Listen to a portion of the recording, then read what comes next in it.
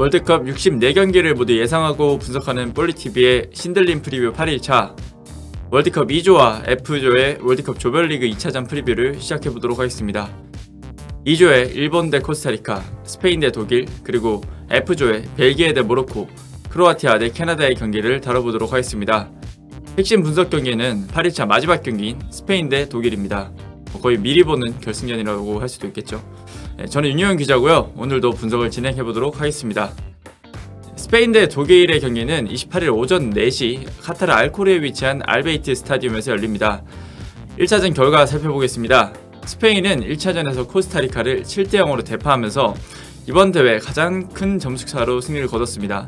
어, 다니 올모의 골을 시작으로 마르코 아센시오, 페란 토레스의 골로 전반에만 3대 0으로 앞섰고요. 후반전에는 토레스, 가비, 솔레르, 모라타가 연속골을 넣으면서 7대0 스코어를 만들었습니다. 독일은 1차전에서 일본에 충격 역전패를 당했죠. 네, 전반 33분에 귄도안이 페널티킥으로 선제골을 넣었지만 후반전에 도안 리츠, 아사노 다쿠마에게 연이어 실점하면서 경기를 내줬습니다. 어, 자국 리그인 분데스리가에서 뛰는 선수들에게 실점한 건 좀 재밌는 부분이라고 할 수 있겠네요. 네, 다음은 스페인 전력부터 좀 살펴보겠습니다. 바르셀로나에서 트래블을 달성했던 루이스 엔리케 감독이 팀을 이끌고 있고요. 최근 A매치 3연승을 달리고 있습니다. 뭐 스페인답게 어, 패스 축구가 일품인 팀이고요. 1차전 어, 코스타리카전에서는 무려 82%의 점유율을 보이면서 압도를 했습니다. 어, 패스만 무려 1000개가 넘어요. 그 중에 패스 성공률은 93%에 육박을 했습니다. 스페인 선수들 한번 보겠습니다. 최근 3경기 포메이션을 보고 계신데요. 주로 433 포메이션을 사용을 하고 있습니다. 어, 라리가 그리고 프리미어리그 리가에서 활약하는 선수들이 주를 이루고 있고요. 어, 우리가 그냥 이름만 봐도 다 아는 그런 선수로 구성이 되어 있습니다. 어, 이 중에서도 핵심 선수를 한번 꼽아보겠습니다. 네, 먼저 페드리입니다. 천재 미드필더로 불리는 선수죠. 2002년생 20세의 나이지만 이미 프로 무대 100경기를 넘게 뛴 선수입니다. 18살에 바르셀로나로 이적하자마자 주전을 꿰찼고 스페인 대표팀에서도 곧바로 주전이 됐습니다. 체구는 작지만 굉장히 영리하고 정교한 볼 컨트롤로 상대 압박을 벗겨낼 수 있고요. 그리고 수비를 무너뜨리는 창의적인 패스도 일품입니다. 어, 레전드 차비 에르난데스 그리고 안드레스 이니에스타와 좀 비교가 많이 되는데요. 두 선수를 좀 섞어놓은 듯한 선수죠. 중원의 핵심으로 이번 경기에서도 활약이 굉장히 기대가 됩니다. 네, 다음 선수도 역시 천재 미드필더로 불리는 가비입니다. 네, 무려 2004년생에 월드컵에 나와서 1차전에서, 1차전에서는 골까지 넣었습니다. 18세 어, 111의 나이로 골을 기록하면서 월드컵 최연소 역대 득점 3위에 올랐는데요. 펠레 이후 64년 만에 나온 기록이라고 하네요. 어, 역시 페드리와 비슷한 플레이 스타일을 가지고 있는데 조금 다른 점은 더 공격적인 선수입니다. 뭐 작은 키에도 불구하고 밸런스가 굉장히 좋고 기술도 뛰어나기 때문에 볼키, 볼키핑이 굉장히 좋고요. 어, 마무리 능력도 있어서 상대에게는 더욱 위협적인 선수입니다. 뭐 지난 시즌 소속팀 바르셀로나에서 데뷔를 했는데 리그 34경기나 뛰면서 주전 자원으로 어, 올라섰습니다. 각종 최연소 기록을 모두 깨고 있는 만큼 이번 경기도 굉장히 기대가 되는 선수입니다. 뭐 전력 변수는 어, 대회 직전에 레프트백 호세 가야가 부상으로 빠졌는데요. 베테랑 호르데 알바 그리고 신성 알레한드로 발대가 있어서 사실 공백은 전혀 느껴지지 않았습니다. 다음은 독일입니다. 독일의 전력 한번 살펴보겠습니다. 어, 한지 플릭 감독 체제에서 많은 기대를 받고 있었는데요. 어, 근데 1차전에서 일본한테 지면서 분위기가 지금 최악의 상황이죠. 예선은 가장 빨리 통과를 했습니다. 유럽 예선임에도 불구하고 가장 먼저 월드컵에 도달을 했는데 어, 월드컵 전에 열린 네이션스 리그에서 1승 3무 1패를 거두면서 성적이 그렇게 좋지는 않았어요. 분위기가 별로 좋지 않았는데 일본전까지 패배하면서 지금 왠지 탈락 위기에 놓여 있습니다. 어, 무려 26개의 슈팅을 하고도 필드골 한 골도 넣지 못한 점이 가장 돋보이는데요. 어, 심각한 골 결정력 문제를 겪고 있다고 볼 수 있겠죠. 어, 물론 선수단 이름값은 상당히 높은데 현재로서는 뭐 실속이 없는 팀이 되고 있습니다.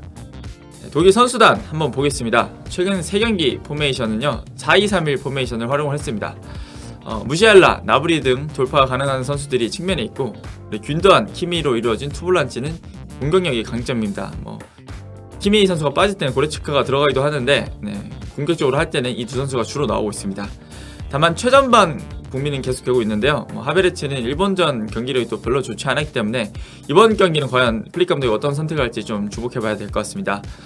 어, 핵심 선수 꼽아보겠습니다. 어, 먼저 무시알라 선수입니다. 이 선수도 독일의 차세대 기대주로 꼽히는 선수이죠. 2003년생이고요. 독일 대표팀에서는 두 번째로 어린 선수입니다. 어, 폭발적인 스피드와 드리블 돌파력이 굉장히 뛰어나고 소속팀 바이에른 뮌헨에서도 올 시즌 14경기 9골 6도움을 기록하면서 핵심 선수로 자리를 잡았습니다. 1차전에서 활약도 좋았는데요. 특히 후반전에 페널티 박스 안에서 4명을 제친 뒤 슈팅한 장면은 무시알라의 장점을 좀 그대로 보여준 장면이었죠. 어, 다만 골 결, 결정력이 굉장히 아쉬웠어요. 뭐 슈팅이 죄다 높게 나가면서 어, 득점 상황을 만들고도 골을 넣지 못했는데 그래도 이번 경기에서 0점 조절이 좀 잘 된다면 스페인이 좀 가장 경계해야 할 선수일 것 같습니다. 네, 다음 선수는 독일 중원의 사령관 키미입니다. 어린 나이부터 독일 신성으로 주목을 받았고 이제는 빠질 수 없는 핵심 선수로 성장을 했습니다. 뛰어난 패싱력을 자랑을 하고요. 축구 지능도 상당히 높습니다. 독일 대표팀의 빌드업은 대부분 키미에서 발에서 출발합니다. 뭐 기회가 나면 중거리 슛도 시도하는데 이것도 굉장히 위협적인 무기이고요. 1차전에서도 슈팅 4개를 시도를 했습니다. 패스 성공률도 90%로 상당히 좋았는 만큼 어, 스페인 중원을 상대로는 좀 어떤 모습을 보일지 굉장히 기대가 됩니다. 어, 독일 대표팀도 현재로서는 뭐 큰 전력 변수가 없고요. 어, 이미 빠질 선수는 어, 대회 전에 부상으로 다 빠졌다. 네, 그렇게 보시면 될 것 같습니다. 자 상대 전적 살펴보겠습니다. 네, 독일이 9승 8무 8패로 근소하게 우위입니다. 어, 그러나 최근 전적에서는 좀 밀리고 있네요. 어, 최근 3경기에서 스페인이 1승 2무로 독일 상대로 좋은 모습을 보이고 있고요. 가장 최근 경기인 2020년 11월에 열렸던 네이션스 리그에서는 무려 6대 0으로 스페인이 이겼습니다. 양팀 모두 그때 뛰던 선수들이 모두 이번 월드컵에서 나왔거든요. 어, 참고하시면 좋을 것 같습니다. 자, 이제 다른 세 경기는 좀 간략하게 살펴보겠습니다. 먼저 2조 2차전 첫 경기입니다. 뭐 일본과 코스타리카가 27일 오후 7시 아흐메드 빈 알리 스타디움에서 맞붙습니다. 일본은 1차전에서 독일의 역전승을 거두면서 분위기가 상당히 고조됐습니다. 어, 월드컵 전까지 두 경기 무승이었는데 한 번에 분위기 반전에 성공을 했고요. 이제는 코스타리카 승리로 뭐 일찌감치 16강 진출을 노리겠다 이런 상황입니다. 가마다, 구보, 이토 주냐, 와터루 엔도 등 유럽에서 활약하는 선수들이 어, 주전으로 좀 구성이 되어 있고요. 수비진에는 마야, 사카이, 나가토모 등 좀 경험 많은 선수들이 있습니다. 어, 최전방에 약간 고민이 있지만 그래도 마에다가 열심히 좀 띄워주고 있고 특히 이선 자원들의 공격력이 좋기 때문에 큰 문제는 없을 것으로 예상이 됩니다. 핵심 선수는 가마다를 좀 꼽았는데요.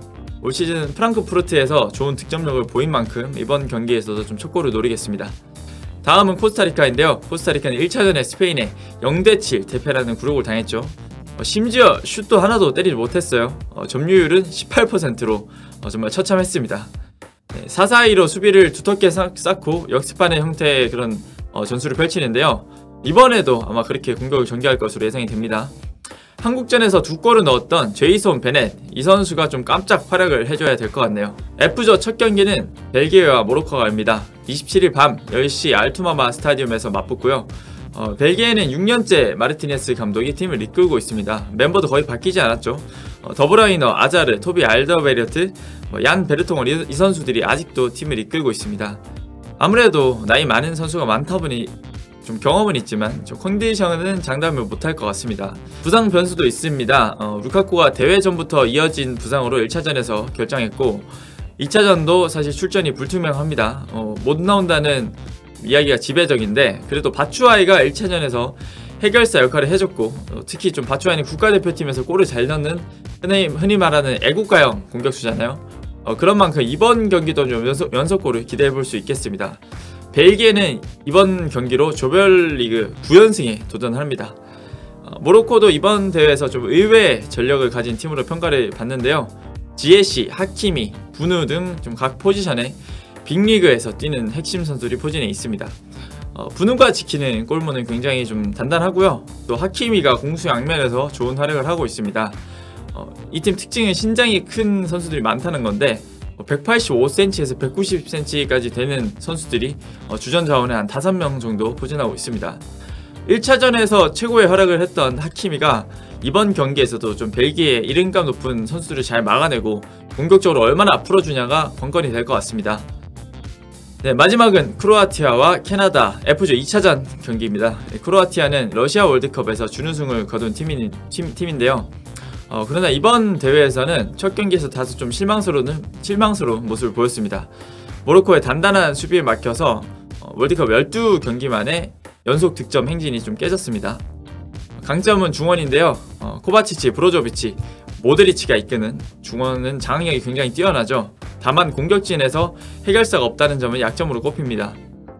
이번 경기에서도 베테랑 모드리치 선수가 좀 해줘야 될 것 같습니다. 네, 지난 1차전에서는 풀타임을 뛰면서 그래도 클래스를 보여줬죠. 어, 젊은 팀 캐나다를 상대로는 어떤 모습을 보여줄지 기대가 됩니다. 캐나다는 이번 대회 다크호스로 꼽힙니다. 무려 36년 만에 월드컵에 진출을 하면서 동기부여가 상당히 높은데요. 어, 피파 랭킹은 41위이지만 어, 실제 전력은 이보다 어, 더 높게 평가가 되고 있습니다. 1차전에서는 벨기에를 상대로 무려 슛만 22개를 시도하면서 굉장히 대등한 모습을 보였고 심지어는 더 위협적이었다고 볼 수도 있겠죠. 어, 핵심 선수는 알폰소 데이비스 선수입니다. 바이에른 뮌헨에서 뛰고 있고요. 어, 한번 뛰면 정말 수비가 잡을 수 없을 만큼의 정말 폭발적인 스피드를 자랑하고 있습니다. 어, 1차전에서는 페널티킥을 실축했는데 2차전에서 만회하기 위해서 더 열심히 뛸 거라 예상을 합니다. 자, 승부 예측 들어가 있습니다. 스페인 대 독일부터 먼저 할 텐데요. 어, 스페인 대 독일은 서영욱 위원 그리고 김정용 기자는 스페인의 승을 예상을 했고 어, 저와 조효준 기자는 무승부를 예상을 했습니다. 어, 제가 무승부를 예상한 이유는 아무래도 스페인이 약팀과 그리고 강팀과 할 때 경기를 조금 다르고요. 어, 독일도 1차전에서 패배한 만큼 2차전에서는 정말 정신문장을 제대로 하고 나올 거라고 생각을 해서 어, 굉장히 팽팽한 흐름 속에서 경기가 진행될 것으로 저는 예상을 했습니다. 그래서 스코어도 그렇게 크지 않고 한 1대1 정도로 끝날 것 같습니다. 다음은 일본 대 코스타리카 경기인데요. 네, 이거는 모두 4명 모두 일본의 승리를 예상을 했습니다. 아무래도 일본이 객관적인 전력에서 좀 더 앞서고 어, 코스타리카가 너무 스페인전에서 좋지 않은 모습을 보였기 때문에 어, 사실 분위기를 탄 일본이 예, 무난하게 승리할 걸로 다들 예상을 했네요. 다음 경기는 벨기에 대 모로코입니다. 이 경기는 서영욱 위원과 그리고 김정용 기자, 제가 무승부를 예상을 했고요. 그리고 조효종 기자는 벨기에 승리를 예상을 했네요. 근데 벨기에가 사실 루카쿠도 빠져 있고 어, 더블라이너가 있지만 해결사가 없기 때문에 어, 크로아티아도 못 뚫은 모로코를 과연 뚫을 수 있을까? 네, 그게 좀 의문이라서 저는 무승부에 좀 투표를 했습니다. 마지막 경기 크로아티아 대 캐나다입니다. 이 경기는 서영욱 위원이 무승부를 예상을 했고요. 어, 김영용 기자와 저는 캐나다의 승리 그리고 조효준 기자는 크로아티아 승리를 예상을 했습니다. 아무래도 캐나다가 사실 벨기에전에서 더 잘했거든요. 벨기에보다. 어, 좀 이런 이번 경기에서도 패기를 보여주면서 지난 대회 준우승 기- 팀을 잡는 이변을 연출하지 않을까 저는 그렇게 좀 예상을 했습니다. 승부 예측 적중률 한번 보겠습니다. 네. 서영국 위원과 김정용 기자가 각각 50% 20경기 중 10경기를 맞췄네요. 조효준 기자, 기자가 20경기 중 5경기를 맞추면서 25% 가장 낮은 퍼센테이지를 보이고 있고 저는 총 7경기를 맞췄습니다. 제가 중간이네요. 35%입니다. 네. 저는 37%에서 한 2% 정도 떨어졌는데 이번 경기에서 다시 상승을 좀 노려보겠습니다. 네, 오늘의 신들림 프리뷰는 여기까지입니다. 여러분도 댓글을 통해서 승부 예측을 남겨주시기 바라겠습니다.